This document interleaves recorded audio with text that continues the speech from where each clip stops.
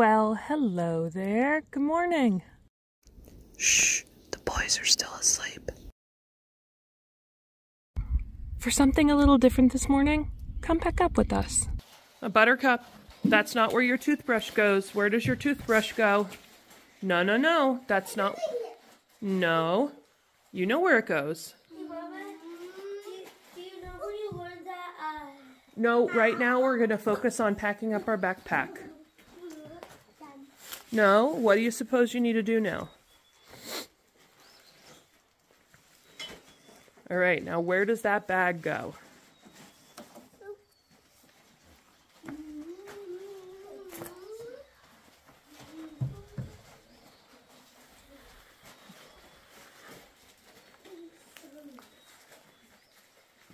Good job. You got it. That's perfect.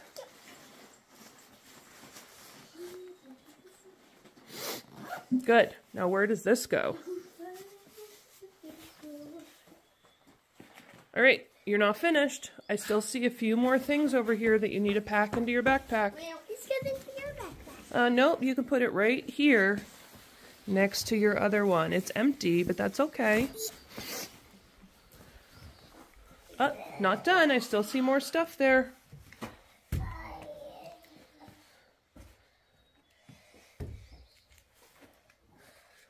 Wait, do you carry this or does? No, you do. Oh, wait, what? I carry the Coca-Cola? Uh, don't worry about it. Just carry that one. They're all group water bottles, so it doesn't matter. Okay, Buttercup, can you check your spout to make sure it's full? Okay, Sonic, is your spout full?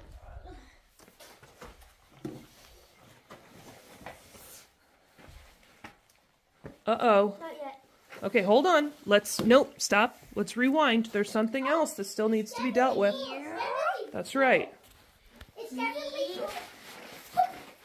Yours is full. Okay, I filled it already. Okay, put that where it belongs.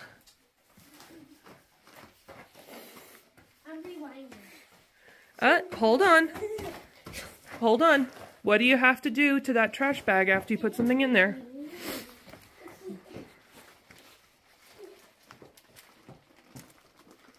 Very good. Okay, fill up your spout.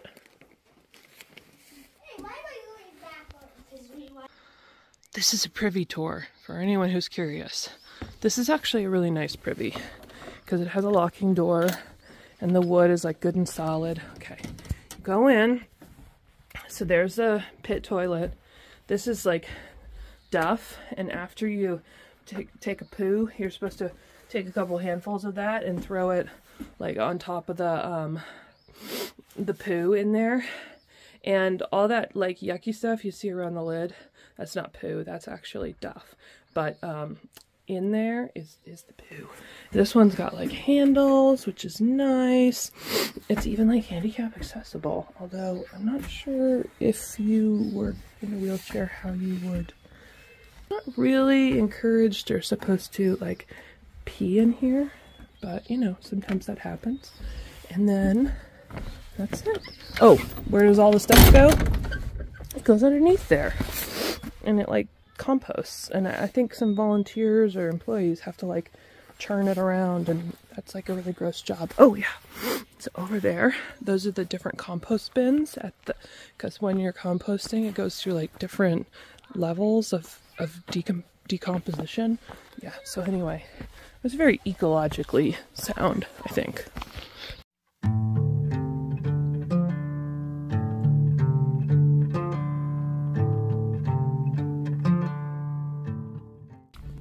I just had to make a quick video to show this beautiful rock work here on the side of the trail. I mean, people must have, a group, maybe CCC, WPA, must have worked so hard to get these rocks in place like this, just to make this trail neat and safe. We've got a big downhill today. We're coming out of the Smokies. I put both knee braces on. I've got the more intense one on my right, and then I've got the less intense one, just the patellar support band, on my left.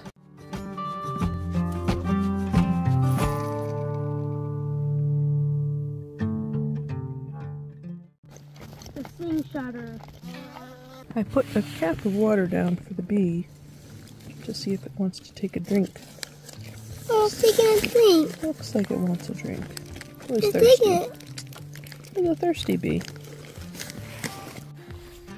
I love this. We've gone down low enough now that the leaves are out on the trees. It's all like a fluorescent explosion, and I love that. And it's hot too.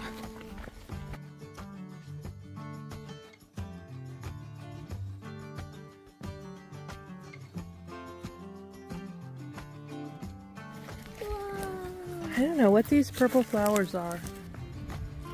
They're really pretty. Hey, Mom, is there something at the night hour? Epic moment. We're leaving the Smokies. We're out of the smokies. Yeah, we're leaving the Smokies. Wow, now we can camp wherever we want again, e- except for certain spots. It's so green. It's so hot. We're down so low. I almost need to take my fleece off because it's Chestnuts Branch Trail. yeah. Chestnut. So that feels great. We just we just did the Smokies. That's kind of major. It's a big deal. We're looking at poison ivy. Wait, what happens if I destroy one leaf? Not not a good idea. Will people think it's not? No, it's just that you're releasing the oils. So that it's the oils that make it shiny, I think, and it's the oils that give you a reaction. It's a very uncomfortable reaction for a lot of people. So, yeah, if you chop it, you're releasing the oils.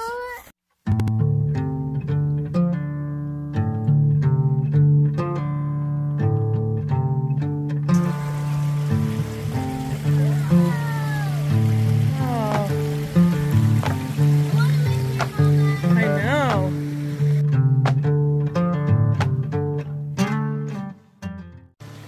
This is spring right here. This is spring. Green and flowers and running creek, no ice in it. Smells like spring. Smells so good. This is like what we've been looking forward to for weeks, for a month.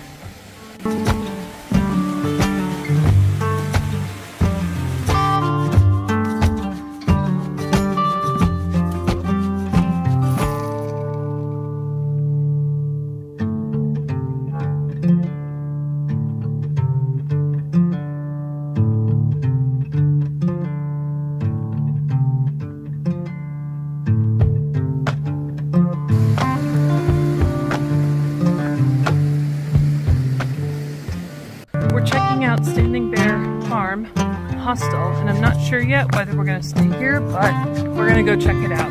See what it's like.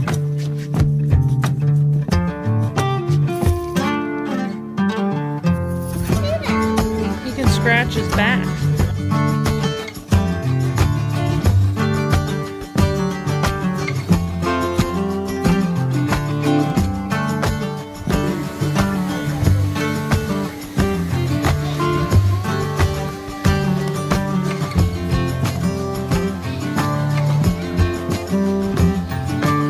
Little kitchen.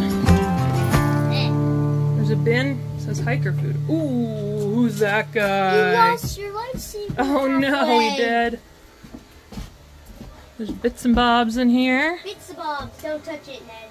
Don't. Ned. Ned. All right, guys, after only two days in the woods this time, we are back in a hotel, and I will tell the story of why, but it has to do with a creepy hiker. So, we're going to go get something to eat. We got to get to Walmart because of someone's lost gear. And um, then when we get back, uh, or maybe while we're out, we will tell the story of why we're at this hotel. So here's something that I don't know if it's showed enough online, but it's town chores. Every time you go to town, you have to do town chores. And like for us that today, that means doing a little bit of a resupply, a small resupply, but it also means that Buttercup lost his fleece. So we have to search for a new fleece or synthetic shirt of some sort for Buttercup. So he has that layer that he can wear while he hikes when it's really too cold to hike in a t-shirt, but it's too hot to hike in his puffy, or if it's raining and he can't get his puffy wet. So we're right now just like walking end to end in this town. We checked Walmart and they did not have anything that would even remotely do. Other things we need to do is like, we still need to get food. We still need to shower, do laundry, you know, all that stuff. Going into town can actually be really um, time consuming, even stressful endeavor if you've got a lot of chores to do, which like we do. So here we go. We're going to Marshall's. Come, no fleece at Marshall's, so I'm gonna have to find something online and have it shipped to like the next place where we're gonna stay. How's the food here? The food is great. Mexican food. We decided to go for Mexican. So good. We're walking back to our hotel after trying Walmart and trying Marshalls for the fleece. I did find one online that I think will work and I need to get Sonic a new pair of shoes anyway so um, I'll go ahead and order them. So we just have to decide where to stay. Don't twirl that around Buttercup. So we're gonna tell now the story of the man who was engaging in behavior unsafe and inappropriate. Okay, we'll start at the beginning of the story. Okay, first of all, we met this hiker very early on in our hike on like the first couple days and he just seemed normal like any other hiker. And then we didn't see him for like a month. Um, we were way ahead of him. But hey, Buttercup, stop it. As soon as we showed up at the shelter, he was like yelling at us. And then when it was becoming coming out, we put on a fire. And I don't think he wanted to see us, so we just went under his blankets. He was trying to spook little Buttercup by making like what? So he was making very weird sounds early in the morning and over the night. He scared the little Buttercup. I woke up before actually he, he did that and I saw him running. Then he was like ah, and then I, when I went to sleep, when he was gone, I, and then he just said ah, and then I got scared and I and I hopped out of bed. So here's what happened from my point of view. Okay, we walk up to the shelter and the boys are doing their thing. They play constantly while we hike. For the first two hours of the day, we're doing homeschool and they're working with me. And then for like an hour after that, they've got their ear their earbuds on because they're doing homeschool stuff like through podcasts or audiobooks. But after that, they're allowed to play. And do they play loudly? Yes, they do play loudly.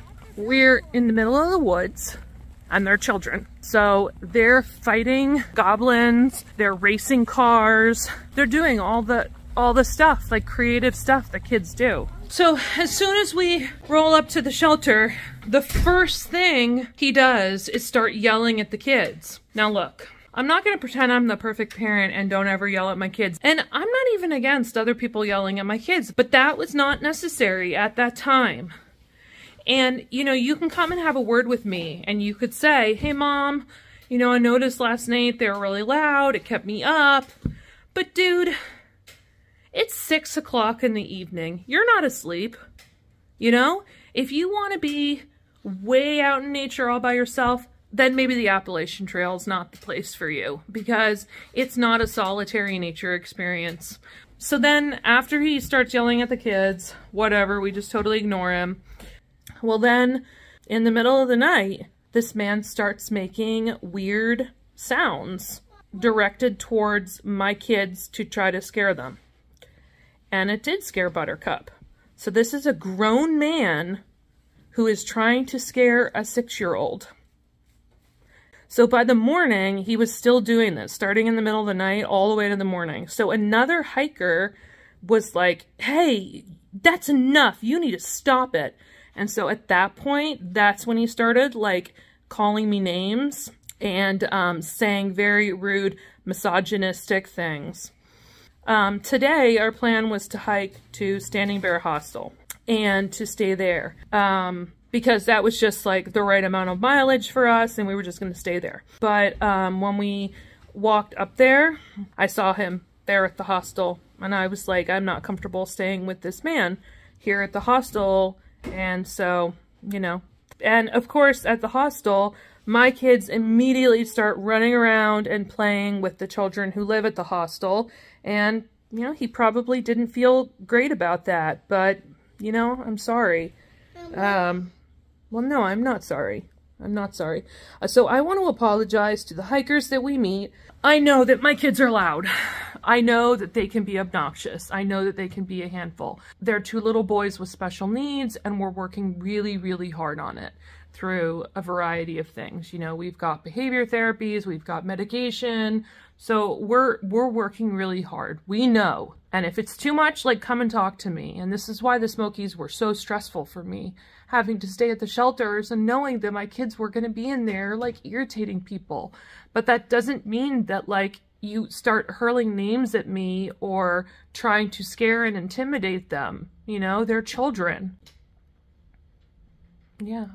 So uh, that's the story of why we're here at this hotel tonight.